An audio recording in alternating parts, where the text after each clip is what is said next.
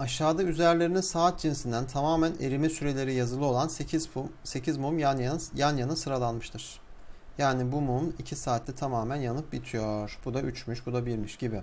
Bu mumlardan yan yana duran 3 tanesi rastgele seçilip üzerlerinde yazan rakamların sayı değerleri toplanıyor. Buna göre bulunan sonucun 5 olma olasılığı kaçtır? Şimdi aşağıya tüm olası durumları yazacağız. Yukarıya ise istenen olası durum sayısını yazacağız. Peki tüm olası durumlar neydi?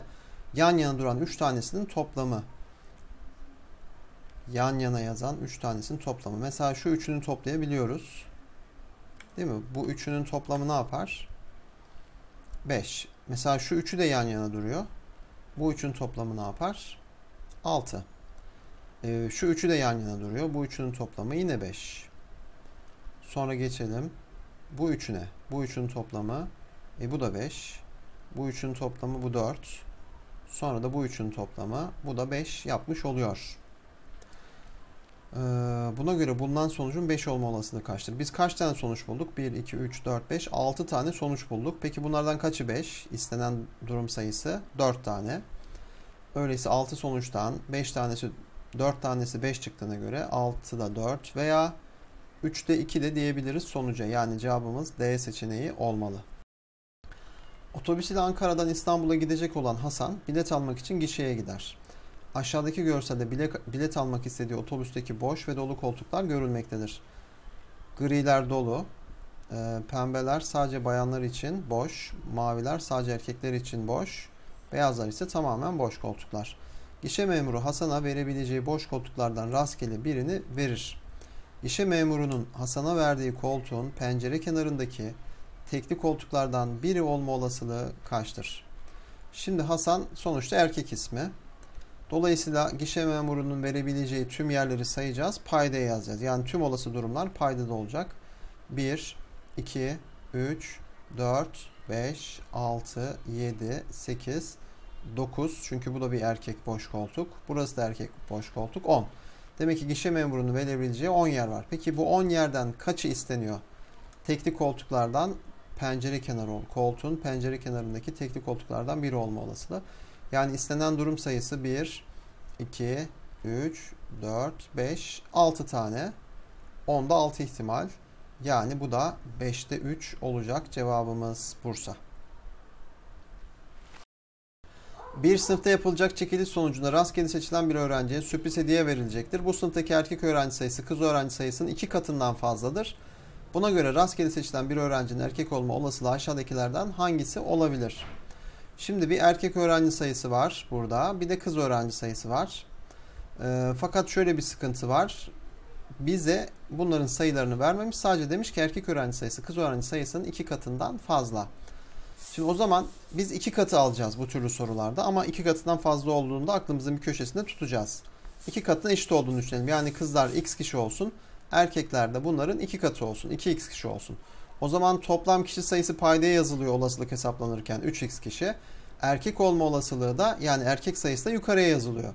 Ve x'ler sadeleşince bu durumda erkek gelme olasılığı 3'te 2 olur. Fakat bunu işaretlemiyoruz. Çünkü erkeklerin sayısı kızların iki katından fazla. Yani erkeklerin sayısı fazla olunca şuranın biraz daha büyük olduğunu düşünün. O zaman sonuç da 2 bölü 3'ten büyük çıkmalı. Yani bizden 2 bölü 3'ten büyük olan şıkkı istiyor. E bu 1 bölü 2 zaten 2 bölü 3'ten küçük yarım. Bu da çeyrek. 2 bölü 3'ten büyük olan burada sadece ne var? 3 bölü 4 var. Hangisinin büyük hangisinin küçük olduğunu payda eşitleyerek de anlayabilirsiniz. Örneğin bunu 4 ile bunu da 3 ile genişlettiğinizde burası 8 bölü 12 yapacak. Burası ise 9 bölü 12. Bakın daha büyük. Yani gerçekten 2 bölü 3'ten büyük olan şık D seçeneği. Luna Park'a giden Kerem oyuncaklara binmek için fiyatı 3 TL olan kartlardan bir tane alıp ona para yüklemesi gerektiğini öğrenmiştir. Kerem gişe görevlisine 30 TL verip bir kart vermesini, kalan parayı ise karta yüklemesini söylemiştir. Luna Park işletmesi karta yapılan her 9 TL'lik yüklemede de 3 TL hediye yükleme yapıyormuş. Kerem aldığı kartla aşağıda fiyatları verilen oyuncaklardan 4 tanesine birer defa binmiştir. Buna göre aşağıdakilerden hangisi Kerem'in bilmiş olabileceği olası oyuncaklardan biri değildir? Şimdi Bir defa 3 lirasını verdi. 30 liradan 3 liraya çıkardık. 27 lira kartına yükletti. Şimdi 27 lira kartına yükletince her 9 lirada 3 lira e, bir yükleme kazanıyor ya. 27'nin içinde kaç tane 3 var? 3 tane. O zaman 3 defa 3 lira kazanmış oluyor. Her 9 lira için bir tane 3 lira kazanmış oluyor. Yani toplam kartına 36 TL yüklemiş oldu. Sonra Kerem aldığı kartla aşağıda fiyatları verilen oyuncaklardan 4 tanesini birer defa binecek. Yani toplamları 36 olan 4 tanesini bulmalıyız. Mesela 11 ile 13'ü toplasak 24. Geriye 12 kalıyor. Geriye 12 elde edemiyoruz. Peki şöyle yapalım o zaman. 13 ile 9'u deneyelim. 13 ile 9'u toplasak 22.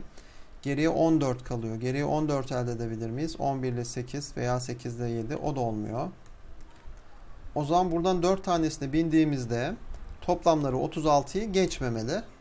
Ee, muhtemelen en pahalı olan olmaz ama yine de bir deneyelim. Mesela 13'ü kullandığımızı düşünelim. 13'ü kullanarak bir de en ucuz 3 tanesini kullansak mesela bu 4'üne binebiliyor muyuz? Paramız yetiyor mu? 13, 8 daha 21, 30, 37 yapıyor. Paramız yetmiyor. Mecburen en pahalı olana binmeyeceğiz. En pahalı olana binmezsek şunların toplamı 24. 35 lira yapıyor bakın bu dördünün toplamı ve binebiliyoruz. Demek ki trene binmiş olamaz. Çünkü trene, trene binerse geri kalan 3 tane daha binince parası 36'yı geçtiği için olmuyor.